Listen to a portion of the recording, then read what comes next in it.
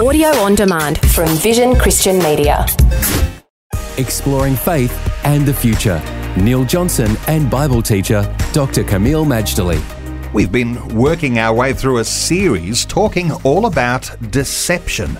The idea that Jesus said, Take care that no one deceives you, out of Matthew chapter 24. In Matthew chapter 24, Kameel, Jesus talks about false prophets and enduring. Let's talk about those false prophets. All right. Well, uh, I don't know if there's enough hours in the day to talk about that topic. Yes, uh, all uh, lightheartedness aside, we're looking at deception, the topic of deception. It is prevalent. In fact, I would go as far as to say it's a spirit of deception or a spirit of strong delusion. We believe Jesus calls us to take responsibility to avoid our own deception. And remember, the danger is when you are deceived, you can pass that on to others, to your family, to your friends, to people under your ministry.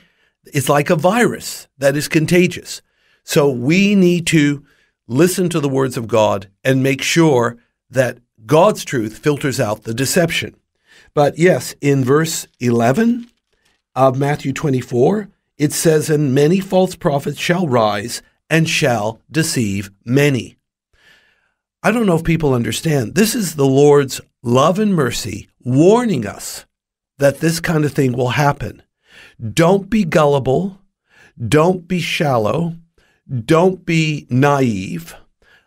He's not telling us to be cynical and paranoid either, but he's telling us to be mature spiritually and discerning.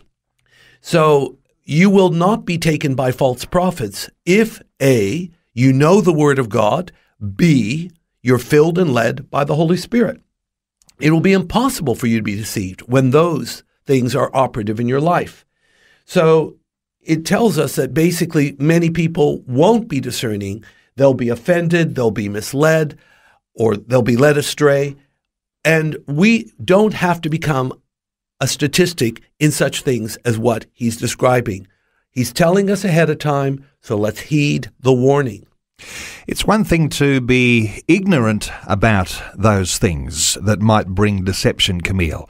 It's another thing, isn't it, to also just have an opinion, but somehow or other we have to have a developed conviction about what is truth and about what is a direction. Otherwise, uh, we run the risk of succumbing to that deception.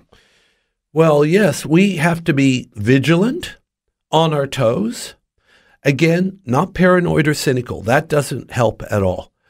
We need to know God is with us, bearing in mind it's in God's interest, if I may say that, to keep us on the straight and narrow. It's not just we're all left to our lonesome.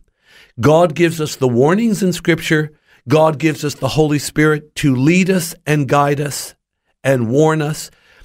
I say this with due reverence, Neil. Think of the Holy Spirit like a life coach a trainer or a guide, like a tour guide, when we see him in that way, he will lead us into all truth. And, he, and Jesus also promises that the Holy Spirit will remind us of the truth that we've already learned. Now, when you're in such hands, you have nothing to worry about. Faith and the Future with Neil Johnson and Dr. Kameel Majdali from Teach All Nations. Find articles, videos, and podcasts from Dr. Kameel, plus today's and other episodes of Faith in the Future in the Vision app or at vision.org.au.